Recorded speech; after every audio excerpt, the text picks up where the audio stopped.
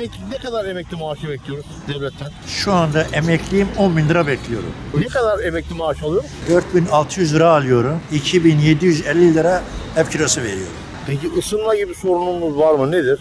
İstanbul'da gibi sorunu zaten biliyorsun sormanıza gerek yok. En az 1500 lira doğalgazdan elektrik parası. Telefon, fatura. Sen emekli değil misin?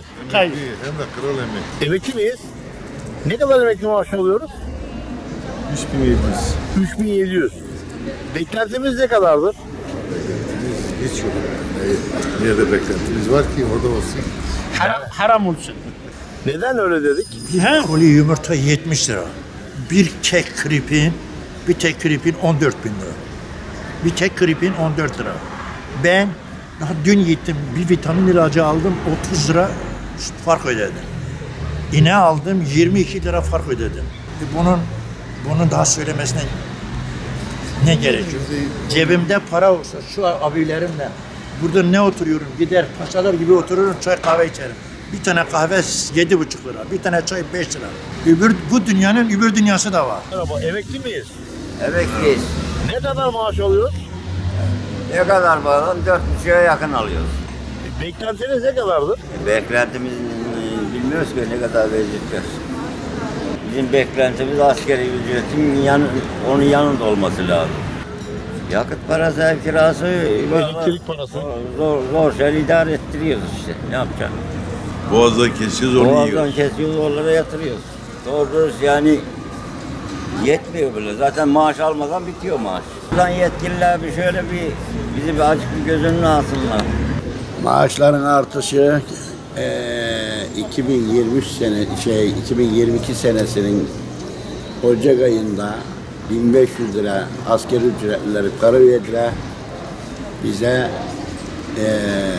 yüzde 25 verdiler. Yü- Yüzde 25'inde Temmuz ayını vereceğiz dediler. Temmuz ayını 1500 lira verdiler yine asker ücretlilere.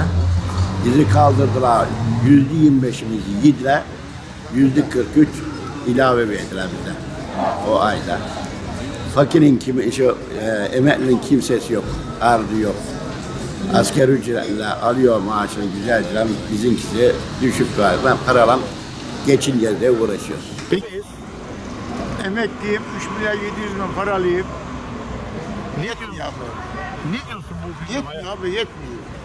Bize emeklilere para vermiyor bu. Yine yüzde yirmi verecekler değiller bu ayın. Bu yüzde yirmi kime yetecek?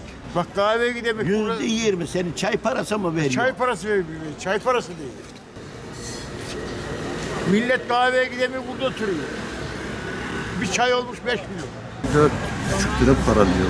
Peki beklentiniz nedir? Beklentimiz hiçbir umudum kalmadı. Neden? Umut kalmadı. Şimdi geldiği zaman dedi ki bir simidi muhtaç etti bunlar dedi. Ama şimdi o simidi de bulamadık. Biz o simidi de bulamıyoruz şimdi. Bir simit 5 lira olmuş. Bir, bir dilim peynir 5 lira olmuş. Bir çay 5 lira olmuş. Üç öğün kuru simit diysen bu para yine yetmez. Ev kira, dam kira. Nasıl olacak? 2500 lira kira veriyor. Kalıyor 2 lira. Neyinden geçinecek? Onlar memnunsa biz değiliz. Devletten beklentin nedir?